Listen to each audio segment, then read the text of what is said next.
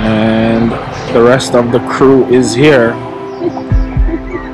There we go.